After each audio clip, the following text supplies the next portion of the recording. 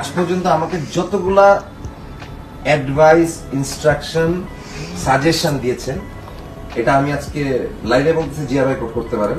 জিয়া ভাই আমাদের এখানকার ফ্যামিলি মেম্বার কিন্তু পেশায় যেহেতু জার্নালিস্ট এই জন্য বারবার জিয়া ভাই জিয়া ভাই বলতেছি।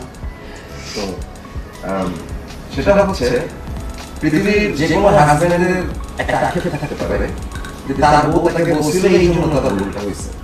কিন্তু আমার ক্ষেত্রে পুরো উল্টা। আমার আমার বউ জীবনে যে কটা কথা বলছে অনেক দেরিতে হলে সব কথা শুক্রবার রাত থেকে সামাজিক যোগাযোগ মাধ্যমে বুবলি ও তাপসের প্রেম নিয়ে তাপসের স্ত্রী মুন্নি ও চিত্রনায়িকা অপু বিশ্বাসের ফোন আলাপের একটি অডিও রেকর্ড ভাইরাল হয়। এখানে বসে থাকো তাপসের সাথে রাত কি রাত?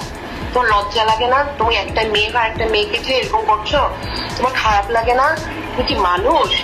ও হাসলো, জানো? আমার ওই হাসি দেখে তো আমি ফেসবুকে লিখে ফেলছি। ওর হাসি দেখে। এসব কথা নিয়ে একটি লিখিত বার্তা গণমাধ্যমে পাঠায় চিত্রনায়িকা বুবলি। বুবলি বলেন, আমাকে নিয়ে যদি কারও এত সমস্যা থাকে, তাহলে অফিসিয়ালি কথা বলুক। আমার কাজের সকল প্রমাণ নিয়ে সংবাদ সম্মেলন করব, সাংবাদিক ভাইদের নিয়ে, এবং আইনি ব্যবস্থাও নিব আমি। একবার জানানো হচ্ছে আইডি হ্যাক হয়েছে, আবার পোস্ট ডিলিট করে দিচ্ছে। আবার কিসের নাকি অডিও ফাঁস হয়েছে?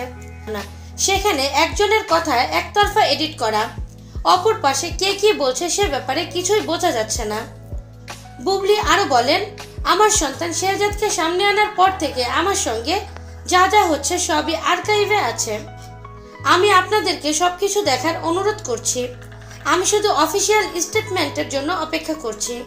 তারপর প্রমাণ সহ সব বলব এবং দরকার হলে আইনি ব্যবস্থাও নেব।